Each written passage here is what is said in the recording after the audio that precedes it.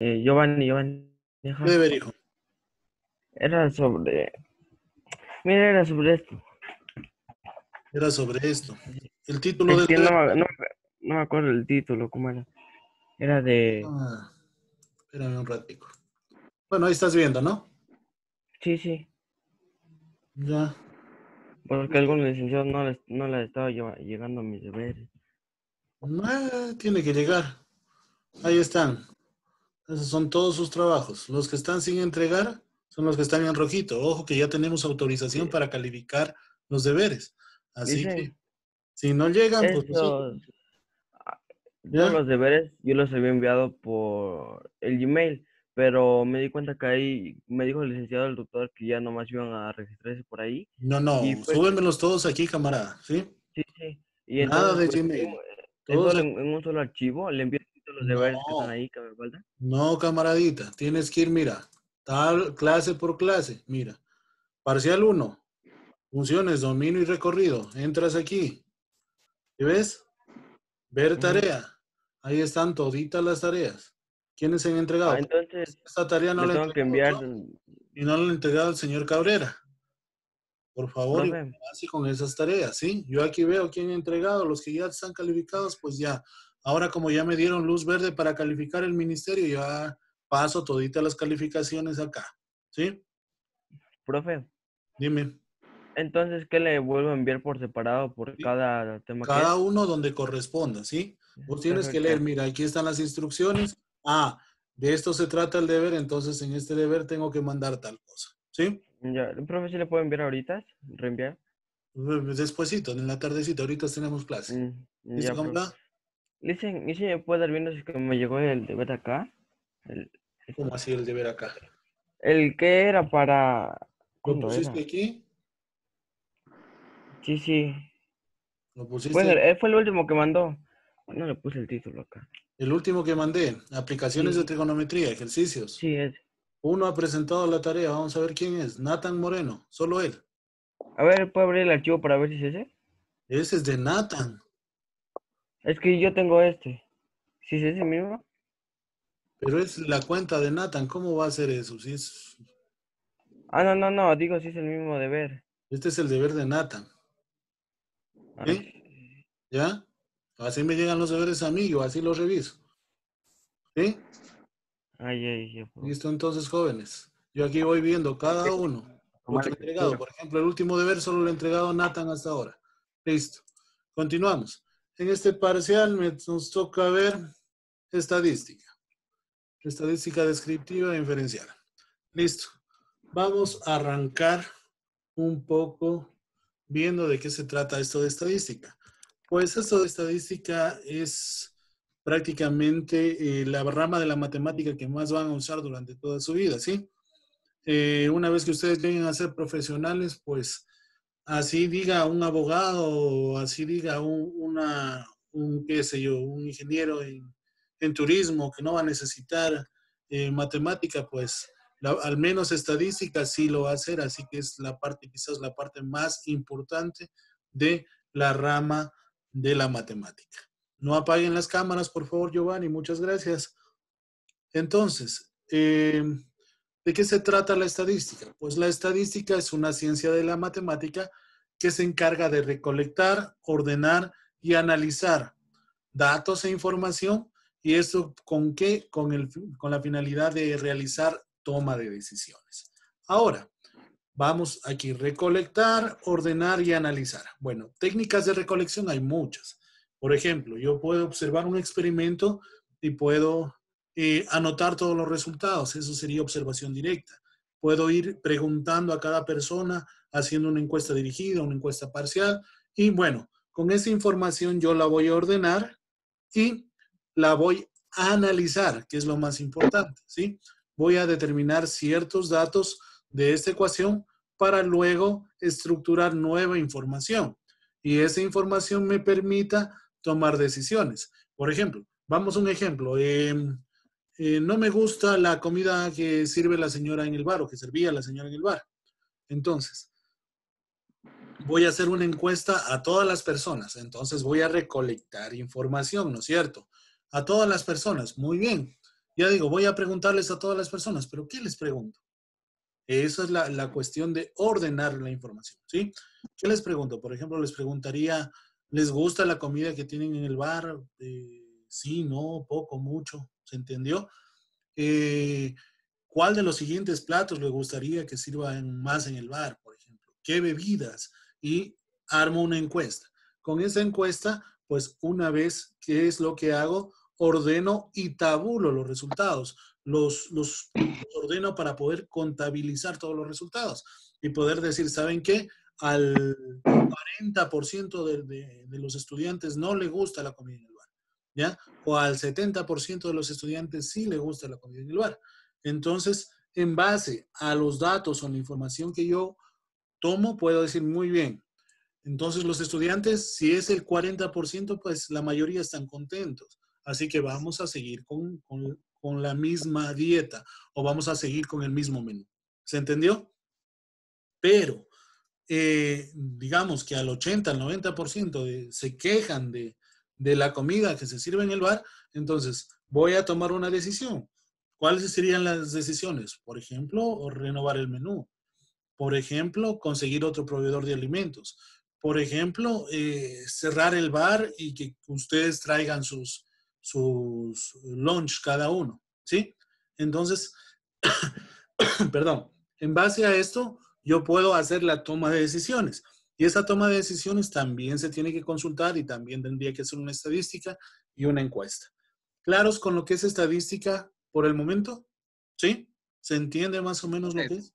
Listo, jóvenes. Entonces, vamos. Diferencia entre datos e información. Vamos con esta parte. Dice, los datos se caracterizan por contener, por no contener ninguna información. Puede ser una letra, una palabra o una descripción. Son utilizados con eh, diversos métodos para comprimir la información. Listo. Ahora, ¿De qué se trata esto? Pues un dato es una unidad mínima de información, ¿sí? Es lo más, lo más pequeñito de la información, ¿ya? Y, por ejemplo, si yo les digo, em, Daniela, por favor, dame un color. Préndame el micrófono. Dame un color. Eh, rojo. Rojo, muy bien. Em, Ramiro, por favor, dame un carro que te guste. La marca de un carro que te guste. La marca de un carro, un Ferrari. Ya, un Ferrari. Ya, muy bien. Eh, Rojas, por favor, dame una hora cualquiera, al azar. Las dos. ¿Las dos de la tarde o de la madrugada? De la tarde. Ya, muy bien. Entonces, eh, ¿Qué me dice el color que cogió? ¿Qué, color escogiste, Daniela? ¿Azul me dijiste? No, rojo. Rojo, muy bien. Rojo. ¿Qué me dicen si rojo? ¿Me aporta algo? Si yo les digo rojo, ¿qué significa? No tiene ningún significado. Es un dato que por sí solo no me dice nada. Ahora, si yo les digo, por ejemplo, la marca de carro, Ferrari, eh, tampoco me dice nada. ¿Sí? Una marca de carro y ya está. Un color y ya está. Ahora, lo que dijo el señor Rojas, dos de la tarde, pues tampoco me aporta ningún valor significativo, ¿no es cierto? Pero ahora, si yo estructuro estos datos y digo, por ejemplo, el día de hoy, a las dos de la tarde, vi un que cruzaba por el centro de la ciudad un Ferrari de color rojo. Ahora, si ven cómo ese conjunto de datos ya se suman para formar una historia y para contar algo que ya la, en sí, la suma de estos datos, pues se tornan información, ¿sí? Cuando todos los datos se suman entre sí para contar una historia o para eh, estructurar o tienen sentido, estos datos se transforman en información. ¿Se entiende? En sí, los datos, un dato es la unidad mínima de la información. De eso se trata esto. Dicen, información es un mensaje con un contenido determinado emitido por una persona hacia otra. Es un conjunto utilizado de datos que constituye un mensaje. Si no tenemos un mensaje, obviamente no tenemos ninguna información estructurada. Y dice conocimiento basado en los datos a los cuales mediante un procesamiento se les ha dado algún significado. ¿Se entendió esta parte? Entonces, ¿Claro con lo que es un dato y con lo que es información? Sí. ¿Sí? Listo. Dato Sí. es la unidad mínima de la información. Información son varios datos, pero que tienen algún sentido. ¿Se entendió eso? Sí. Gabriel, por favor, actívame la cámara si tienes. Muchas gracias. Mm. Continuamos, por favor. Vamos. Variables estadísticas. ¿De qué se tratan las variables estadísticas? Las variables estadísticas se clasifican en dos tipos. Pueden ser cualitativas cuantitativas. Ahora, primero vamos a expresar las variables cualitativas. ¿De qué se tratan las variables cualitativas? Las variables cualitativas expresan alguna cualidad, como su nombre lo dice, ¿no es cierto? Cualitativa, alguna cualidad. Se clasifican en variables ordinales y variables nominales. Ustedes me dirán, pues lo cualitativo no se puede calificar. Por ejemplo, cuando usted le pregunta a, su- novia, oye, ¿me quieres? Y ella le va a decir mucho. Ese mucho es una cualidad. ¿Se puede medir? No, pero lo podemos categorizar como mucho, poquito, nada, ¿sí? Ahora, por ejemplo, ¿qué se trata esto de ordinal? ¿Recuerdan los números ordinales? ¿Cuáles son los números ordinales? A ver, hagamos un poco de memoria. Eh, Josué, dame un ejemplo de un número ordinal.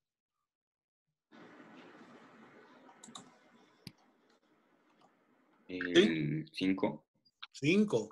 Pero está mal dicho, sería quinto. ¿Ya? Eso es un número ordinal, ¿ya? Por ejemplo, los números ordinales, primero, luego, Segundo. segundo, tercero, cuarto, quinto, ¿se entendió?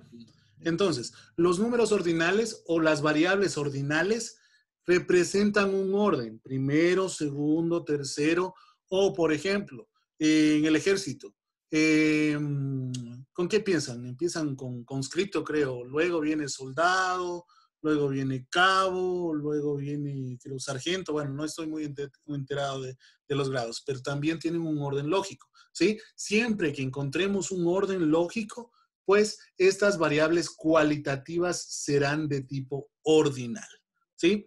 Ahora vamos con variables nominales. Son variables que podemos calificar, pero que no tienen un orden específico. Por ejemplo, em, vamos a ver, estado civil. Estado civil de la persona. Una persona puede ser soltero, puede ser casado, puede ser eh, divorciado, puede ser viudo, puede estar en unión libre, puede estar en unión de hecho. Ya vamos con seis. ¿Se entendió? Entonces, ¿tienen algún orden específico? Bueno, primero tiene que ser soltero. Y si está en unión libre, bueno, si se dan cuenta que no hay un orden específico para que estas cosas se desarrollen. Entonces, siempre que no tenemos un orden específico, a este tipo de variables las vamos a llamar variables nominales. ¿Se entendió esa parte? ¿Sí o no? Sí. Listo, entonces, las variables cualitativas expresan una cualidad, guardan una característica, no las podemos contar. ¿Se entendió? A las variables cualitativas expresan una cualidad, pero no las podemos contar. Por ejemplo, las variables ordinales siguen un orden y las variables nominales no siguen un orden. ¿Sí? De eso se tratan las variables cualitativas. Ahora vamos con las variables cuantitativas. Su nombre lo dice, cuantitativa. ¿Cuánto? ¿Ustedes creen que a las variables cuantitativas las puedo contar? ¿Sí o no? Sí. Sí, Sí. entonces, Sí. a las variables cuantitativas yo las voy a poder contar. ¿Sí? Por ejemplo, le digo, eh, Gabriel, ¿cuántos años tienes? Gabriel, actívame el micrófono. 15. 15 años. Ya. Sí. Entonces, ¿podemos contar los años que tiene Javier? ¿Sí o no? Va, Gabriel. Sí, sí, como, Sí. pero si es que le preguntan a él. Ya, listo, se puede contar, ¿no es cierto? Ahora vamos a ver. Si te digo, por ejemplo, eh, Gabriel, eh, ¿cuál, ¿en qué grado estás? Estoy en décimo. En décimo. ¿Creen que será cualitativo o cuantitativo? Primero, Miren, cualitativo, ordinal, orden, ¿sí? Ahora, vamos. De las variables cuantitativas, las que podemos contar, existen dos tipos. Hay variables discretas y variables continuas. Muy bien, vamos a ver. ¿Qué se trata esto de variables discretas y variables continuas? Las variables discretas son números enteros y las variables eh, continuas son números reales. ¿Sí? Entonces, vamos a ver. Discreto, entero. ¿Un entero tiene decimales? ¿No? Vinicio, ¿un entero tiene decimales? Señor Cabrera. No, no es cierto. No tiene decimales. Entonces, eh, por ejemplo, si yo les digo, vamos a hablar de sillas, ¿puedo decir que tengo 4.2 sillas? ¿Sí? ¿No es cierto que no? Vamos a hablar de, de, hermanos, por ejemplo, personas. Le pregunto al señor Aldaz, ¿cuántos hermanos tiene usted? Un hermano, ¿no es cierto?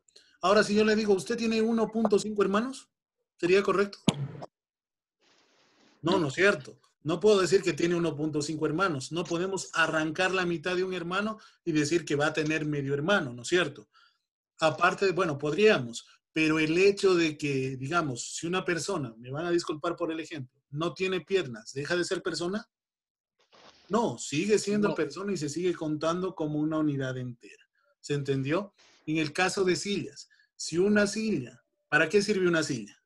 Una silla sirve para sentarse, ¿no es cierto? Ahora, si una silla está averiada, pues ya deja de ser silla porque ya no cumple esa función y ya la dejo de contar como tal. Entonces, variables discretas son enteras y variables continuas son reales, que quiere decir que tienen decimales, ¿sí? Que eh, me pueden representar fracciones o eh, números irracionales. Ahora, ¿qué vamos? Vamos, voy a poner unos ejemplos, por favor, todos activen sus micrófonos. Muchas gracias. Daniela, David, Marcelo.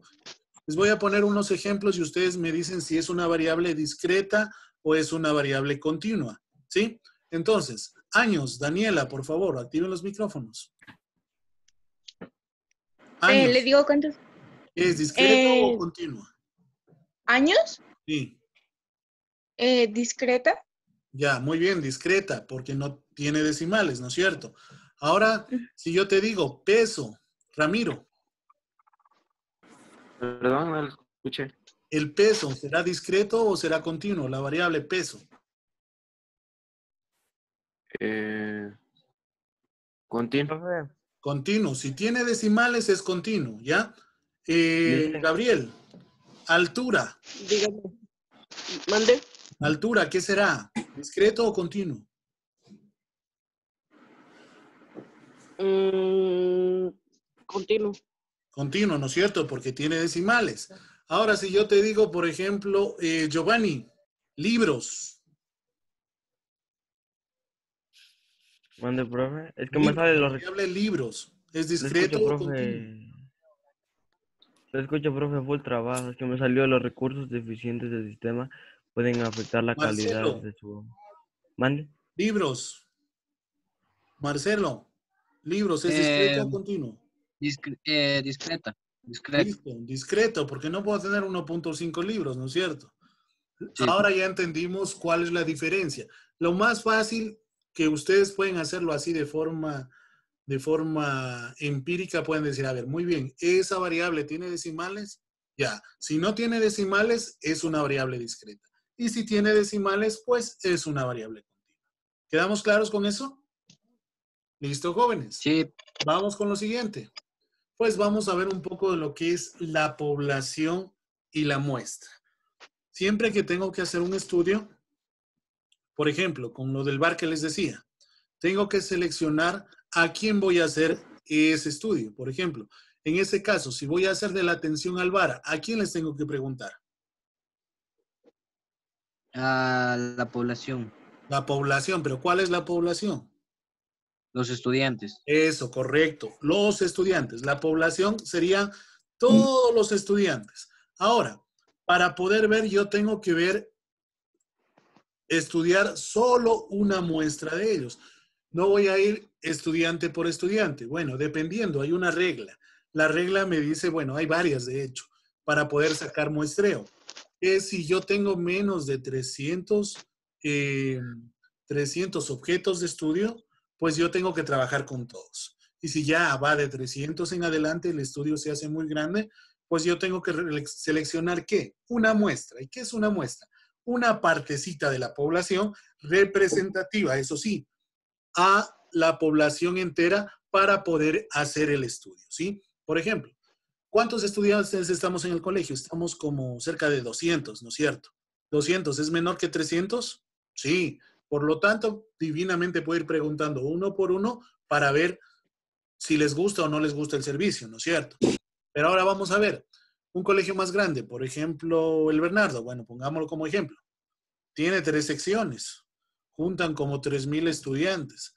Y para un servicio de bar yo no puedo ir uno por uno a ver, te gusta, no te gusta, y aparte es un poco impráctico.